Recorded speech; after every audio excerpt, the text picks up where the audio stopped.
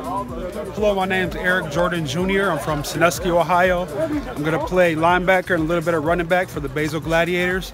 I'm really excited to be in Switzerland. I'm ready to rock. Everybody in Sandusky, what's up, guys?